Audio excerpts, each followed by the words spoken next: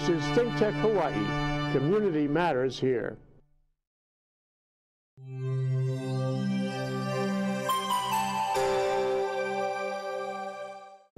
I'm so happy to be with George Benda. Hi, George. Okay. This is Think Tech Hawaii, of course. I'm Jay Fidell. We're talking about the state of energy in Hawaii, the state of clean energy. And today our title is uh, Clean Energy in 2018, since we just started 2018, and since George is a past master of uh, clean energy. uh, George is the CEO of Chelsea Group Limited, and he lives in Molokai. And I always wanted to visit your operation there, but one of these days I will. Good. Uh, I was there what, three weeks ago, maybe a month ago, um, with uh, uh, Fred um, uh, uh, Fred uh, Redell, who was the Maui Energy Commissioner. We, we looked at all the energy facilities in Molokai, and we're making a movie of it. It'll play this Sunday, as a matter of fact, Wonderful. on cable. So, um, so we're here to talk about energy in general. But before we do that, um, George has told me he's been busy. he's written not one, not two, but three novels. Okay, most recent one, The River. If you can get that, The River by George Benda. Okay, and then he that came out in December.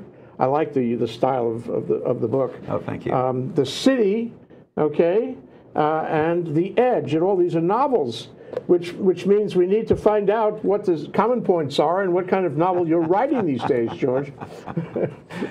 well, they're fun. A lot of it is based on my life. Ah. And so uh, these first three are set in in, uh, in the Chicago area where I grew up, and uh, they're uh, they're in the 1970s and uh, run through uh, a lot of the things that were happening then, which are surprisingly relevant to today, and in fact to the topic that we're we're working today. And I'm working on the fourth book right now, which is going to be called The Farm. And uh, central to that book is my role in Illinois as the as the uh, uh, investment officer for the Illinois uh, Energy Bond Fund, which invested in, in demonstrating solar, wind, and, and other technologies in the 1970s. I Told you George has been around. Yeah. well, 40 plus years of doing this stuff, so. Good, good. So uh, th- this is I would call this uh, series the the series. Because each title begins with the word "the." it's okay. That- it's that's memorable. Fine. That's fine. It's, if it's the series, that's that's a great thing to say because then it's the only one you need to know about. It's, it's easy to find. Where can I find them? Can I find them on Amazon? Where? Amazon, yeah, Amazon. That's great. And Okay. uh, the city is only in um, uh, e-reader, but the other two are were uh, I was able to publish uh, print on demand, so they're available in print in the in the format that you're seeing here. Oh, okay. I'm going to I'm going to do that with the city probably shortly. So forgive me for this, but I always ask guests who have written books to turn to a page, whatever page you like, and read a paragraph, so we can get the smell and the taste uh, of the grease paint and the roar of the crowd. You know. Oh, the roar of the grease paint and the smell of the crowd. Yeah, well, I, I, that that I don't know. I hadn't prepared for this, which is really unex- inexcusable as an author. uh, but uh, there is a uh, there is a page that I think is particularly funny. Um, but why don't I just start at the, the very beginning? Sure. The old rowboat scraped on the rocks, hitting the solid limestone of the Momence ledge. Elmer, get that damn boat all the way to the front of the ledge, Jonah expelled in a deep grumble. The loud whisper carried across the water to the 18 riflemen hiding in the dark under the moon shadow of the old mill. The flat smell of the mill race drifted up with the mist rising off the water wheel. Hold your fire, said Homer, hushed tones. Wait for a clear shot at the dynamite. Late August 1928, sleepy little town of Momence, Illinois. Water low, exposing the limestone ledge that created a natural dam in the Kankakee River. Nine gun toting Hoosiers, three in each boat, towing a fourth rowboat full of dynamite, thinking if they blew the ledge, they'd be able to farm right up to the banks of the river, or the ditch, as they preferred to call it in Indiana. You think them suckers knows we here, Jonah? asked Jonah's cousin Elmer. Elmer, up to his knees in fast flowing waters near the ledge, rifle in hand, looking around, worried. Elmer, we done this in secret. Ain't nobody knows we're here, Jonah hissed, not thinking how the sounds carried across the water. The suckers from Illinois smiled up and down their rifle line, each taking a bead on, an, on the invading Hoosier force. Farmers from across the border in Indiana, one and all. Six of the nine Hoosiers were in water. waiting to the dynamite, waiting to the dynamite boat wedged against the rocks on the downstream end of the ledge. Rifles down, fighting the current to stay upright on the slippery river bottom, the six men picked up bundles of dynamite to set into the rocks on the ledge. Three rowers kept the little wooden boat steady while the six men struggled to set the charge.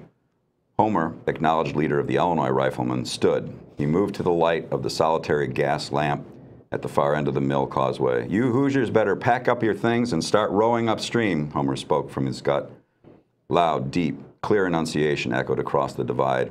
We outnumber you, we outgun you, and we got the high ground. If you turn around now, we'll hold our fire. Just leave that dynamite boat where you got my attention, George.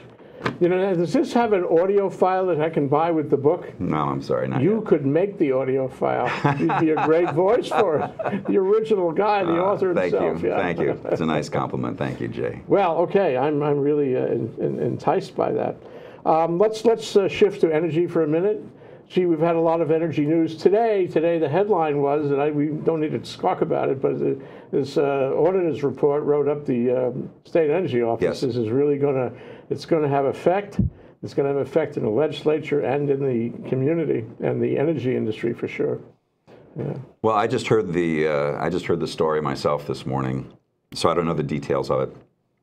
Haven't yet read the report, but you know the the, goals have been set very um, uh, freehand uh, in a very political way over the years, and uh, the notion of 100% conversion to renewable energy is admirable, but a very very very high bar and uh, I think uh, probably not well conceived when when you look at it. Um, and I've dealt with this uh, as a technical matter for years. Um, I also work in indoor environments, and and one of uh, one of the politicians when mold was a big issue in the United States was in a meeting in, in Denver, and and uh, the the uh, uh, he was in the news recently. Con- Conyers, the the uh, the guy who represented Detroit, uh, stood up and his his senior staff guy had written it as if it, as if you could control mold like tobacco smoke, and that the only acceptable answer for mold was zero tolerance. And like, good luck living. there, That's not so easy. there's so much mold on you right here. now that you wouldn't believe it, and it's coming with you. It's not not something introduced here. Well, it's the same way when you set these kinds of high bars on technical goals. yeah. You have so many fuel types, you have so many fuel uses, you have so many complex needs in the energy arena. You can convert a very large portion of what we do to electricity, and that's going to be the easiest way to do it. But you're still facing the challenge of things that really require liquid fuels and and require um, other means of, of, of, of developing energy and, and just sheer thermal use that you can do Yeah. better ways than, than with uh, photovoltaics. So I, I understand why the energy office would be having a difficult time, but uh, you know it is it is it's a difficult place to be. But on the other hand, um, in my years here, I've not been that excited about the work that they've accomplished. Yeah, me, me neither. And uh, I've never seen an audit report about a government agency this uh, critical. Um, that's why I say there'll, there'll be shoes dropping on this one. Yeah. And I don't, I don't think that uh, DBED or the State Energy Office is going to come out whole. Um, this is going to be scandalous, and uh, people are going to be looking at every corner. The report itself, by the way, and I'm talking to our listeners here at this moment, uh, is available online. You can is read the report, and it's uh, it's not as exciting as uh, as the river, the, the novel, but it, it gets close. This is really edgy stuff and worth reading. Well, in, in uh, 1979 uh, through 83, I was the uh, uh, director of energy programs for the state of Illinois. So I know those shoes, and they are very tough shoes. And at that time, uh, we were in the second oil embargo, that's the 2nd oil crisis. Uh, we had bomb threats against our building every day. Um, my joke to the guy who ran the fuel allocation program was, you know, we could spare all these bomb threats. We'll just handcuff you to the the, the uh, parking meters out front and let them with a big sign. This guy runs the allocation program. Uh, not he didn't think it was that funny, and really I didn't either. But it was, you know, one way to lighten the mood. The guys in the energy office are going to feel much the same way right now. They're Yeah, going to yeah. feel like people are lobbing hand grenades at them. Yeah, yeah, and some of them will be deserved, by the way. So uh, let's talk about you, Chelsea Group. Um, your current iteration in energy. What's it like? Well, Chelsea Group really focuses on the infrastructure of existing buildings, and we've been doing that for a very long time. I've been doing that kind of work for 40 years. Uh, much of that is driven by energy conservation, but a lot of it is driven by other issues like indoor air quality, mold, moisture, moisture management, but also fundamental economics of a building. You have a building, it ages, it doesn't maintain its value unless you invest in the infrastructure in that building and keep the building vibrant and, and living. And so we're doing that right now. We're um, we're working at uh, Queens Medical Center. We've been there for uh, five years, rebuilding the infrastructure in the air handlers and the patient floors, and rebuilding uh, big chunks of their central plant. Uh, it's very exciting work as an engineer. It's very gratifying. We're reducing their energy use. By the time we're done, we'll have cut about 20% out of the energy use at Queens Medical Great. just from That these will inure projects. to the benefit not only of Queens, but to the community in general. Exactly. And you know, my point on all of this stuff, the Energy Office, I think, uh, doesn't get the point across well enough, and I think uh, it, it's often ignored by those who promote solar and other things. The first thing you have to do is reduce your energy use. And the technologies that have evolved are just fascinating and really outstanding. And so um, we did a project at Pearl Ridge, the upper Pearl Ridge, uh, replaced some uh, uh, air conditioning systems, the great big chillers on the roof. Uh, 52% reduction in energy use as a result of the change in technology. Huge. It's huge. Think of the savings. Exactly. We just did American the, money. That's fabulous. Yeah, and the the uh, the central plant at uh, Restaurant Row Waterfront Plaza. Yeah. Uh, we finished that last year, and the documented savings. Uh, 19% on their total energy bill, which means that the, the plant has, of course, much much more savings than money. that. But 19% on their total energy bill. Are you are you the only company doing this in Hawaii, or you have competition? Oh, we have competition. Yeah, I won't tell you who they are. No, we I don't don't, need to help anybody out I that way. ask. Yeah. Uh, we, uh, but we do we do other kinds of things as well, and um, you know we've been out at uh, Campbell Square, for example. Um, I think I've, my first assignment out there was in 2008, and we've solved water intrusion problems, and and now we're doing something called continuous commissioning, and helping them straighten out all their operating systems. Got them their LEED certification, and, and so we do a lot of a lot of those kinds of things for folks. And, well, they say you know if you can if you can be efficient, save the use of not use energy, that's the that's the best saving of all. absolutely. Um, but on the other side of it, when we come back from this break, George, I'd like to ask you about your views on renewables in the state. Of course. What we need to do to get there, assuming we can get there at all, and, and how we form up decision process and implement that process. I never promised you a rose garden, George. we'll be right back after this break. Living in this crazy world, so caught up in the confusion, nothing is making sense can find a way. There's got to be solution. How to make a brighter day.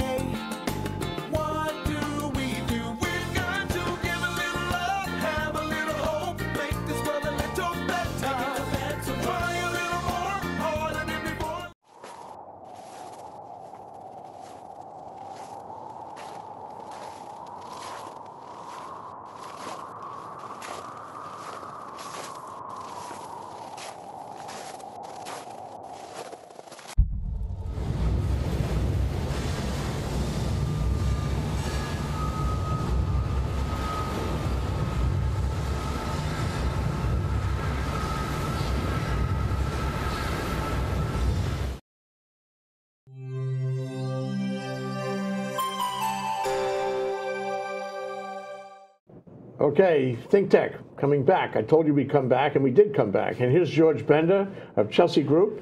And we're, we're talking about energy in Hawaii. We talked about Chelsea Group for a minute. Now we're going to talk about energy in general and how to get to our renewable goals, however realistic or unrealistic they may be. right. What do you think, George? Well, I think we can do tremendous things with renewable energy, and uh, you know the the example. I can take a very personal example. Over the over the time that I've lived in Hawaii, we built our house on Molokai.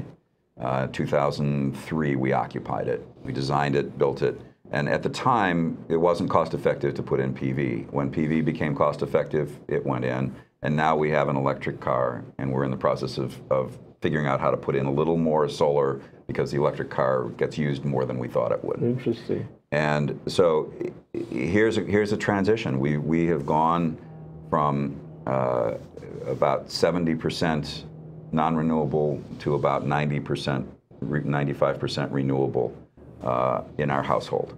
Um, now, we use the net metering program, which I personally despise. I, I think that net metering was a cancer on our society. In what way? Tell me why. Well, net metering enables the homeowner to realize the full value of the energy that they've generated as if they had purchased it at their doorstep. And that's not really reasonable because Without giving credit to the transmission system. Exactly. They're using that transmission system as a battery backup, whether they want to admit to it or not. That's true. They can't do what they're doing without that without that utility. Yeah. It gets dark, they would be dark. Yeah. The net metering allows the utility to deliver power to them, and they're they're netting out on that power that the utility is making. Yeah. Uh, so it has the effect of undermining the finances of the public utility system. Now, I know as an energy uh, person working in energy conservation, this sounds uh, um, like a heretic comment. We need a good utility. We need a solid public utility central system. And I can tell you, as someone who even loves the technology, I get darn tired of paying attention to every detail of how my how my house works. what I want is to go back to flip a switch and forget about Seamless, it. dispatchable, on demand. And the only way that works is with a, a good, reliable central utility, Yeah. a good distribution system. Um, but there's no reason that those things need to conflict with a, a strong Yeah. renewable future. The utility system can be more re- renewable, and with electric cars now coming on in a quality and, and reliability that we did not expect to happen this fast, honestly. As an energy professional, I was looking at another couple of decades before we would see things like the Tesla vehicles and the, and the vehicle that we drive, which is uh, Mercedes. okay. But the energy, it's electric. It's electric, yeah, Ah, hundred percent electric. nice, yeah, yeah, Battery charge. yeah, yeah, yeah, Um, and the uh, it's funny because I priced them all, and the, the the MSR on the Mercedes was like within a hundred bucks of the Nissan. I said, oh well, I'm not no going. choice. It's easy. it's really easy. I know the net cost of ownership is higher, but that's okay. it's worth it. I understand the difference. Um, but the uh, you know the, the electric cars are a huge opportunity for the utilities. But it, this all is being squandered, and I've, I've had I've actually had conversations um, with uh, uh, Connie Lau about these things, and, and explaining that they need to get into the storage, they need to get into the microgrids, they need to be the ones who are controlling that industry. And instead of letting all of these independent little things happen, which is where we're drifting, we need consolidation, and the state needs the, the, the gumption to say, okay, we're going to have a strong grid. We're going to provide these services. We're going to have distributed energy generation. We're going to have uh, smart microgrids. And we have to have at least one utility that, that manages this and can provide the services so that no matter how much of a hobbyist you are, after you put this stuff in, you get tired of it and you just want to flip that switch. The utility is there and can do that. And so that we're serving the entire population, not just relatively wealthy people like me who can afford to buy all these gizmos and gadgets. I agree with you absolutely, totally. Yeah, uh, that's and that's the key to, to, to moving ahead. Um, it's not only economies of scale; it's economies of management. Absolutely. Yeah. So, but would, you wouldn't rule out uh, distributed energy with solar and battery uh, in a given residence? Oh, absolutely not. And and I I not only do I totally understand, I I live with both solar PV and battery, and I have thermal PV. Uh, so I I live with these things. But you need every day. connection also. But, but you need the connection. Yeah. So let's uh, let's skip to um, Molokai for a minute. Um, Molokai, very interesting place, but it runs mostly, or at least more than half anyway. I couldn't. You you might know the numbers uh, on diesel energy in a Yeah, the- in a historic legacy plant with new smokestacks and batteries to smooth out the curve. But nevertheless, it's diesel. Um, how are we doing? What do you see in the future? And where does Half Moon Half Moon's project fit in, the successor to Princeton? I have a really hard time gauging the seriousness of any of the private sector projects. Um, I met with the Chicago people when they had that project. Uh, could tell immediately they were going nowhere. They didn't understand politics on Molokai, and it's very tough. It's it's not not an easy thing at all. Uh, the plant manager at the Molokai uh, utility has told me about their commitment to uh, 100% uh, renewable by 2020, and I frankly chuckled. Uh, That's pretty the- quick. yeah, there's just no way. Uh, but on the other hand, it's really not that big of a challenge. I mean, you could, with a few good farm fields and some nice contemporary batteries, you could do it, but it's a big investment. Um, my concern is that nobody has the, the gumption to do that. Now, if these guys, uh, with you call it the Half Moon Project, uh, let's hope it's not a half baked project. uh, if, if they want to do it, there's land, there's plenty of sunshine, and the grid is rickety, but it can stand up to it. It's a small enough place. In most universes, it would be considered a microgrid. Uh, but the distribution system is, I would say, easily 50 years out of date. So there's an extra expense there. Yeah, yeah, and nobody's making that investment. And honestly, when I look at the economics, uh, I don't see how uh, a utility can, can recover their investment on, on Molokai under any circumstance. But you know, the utility has said that it wants to make Molokai into a kind of laboratory and Mm-hmm. learn things about how to do a small grid that way, and use those lessons in other places. And I, you know, I, I admire them for that. I think it's the right approach, and it is a good laboratory, isn't it? It is an outstanding laboratory, and you, you have a population that's ready for that kind of experimentation. Um, I've, I'd probably, I can't think of any place I've been where a larger percentage of the population is willing to uh, suffer a little bit in order to do better things and, and understands that you don't move forward without some, some friction. Um, I grew up around Chicago, uh, as I said, related to the books, and and there there's a, a, a very large, you know, 80% of the population. They don't want to hear about it. They don't want to know about it. They don't want anything to do with it. Just make it work. And on Molokai, everybody's kind of a backyard mechanic. And That's true. will- will- Literally. well, you kind of have to be. I mean, my, the, the guy from Sears comes over. We have our stuff warranted under Sears. He calls my wife the, the, the Sears Molokai repair person. So because she he just sends her the parts. He doesn't even bother coming back style. anymore. He goes, looks, and hands her Everybody the does parts. and- yeah, and she fixes everything. Um, and that's pretty much the way it has to. Well, you know, the thing about Molokai, that, that- I don't know, you're much more familiar than I, uh, but uh, Molokai is a neighbor island and wants to stay a neighbor island. It doesn't want to be connected very well. Right. Um, it doesn't want cruise ships or fishing boats or a lot of visit, visits from uh, Oahu or anywhere else. Um, and it, you know, resists change, um, although, well, I, my question to you, George, is how do people feel about change? Uh, do they warmly welcome the notion of uh, renewables on Molokai? Will they accept that change? And to what extent, um, you know, can we expect them to resist that change?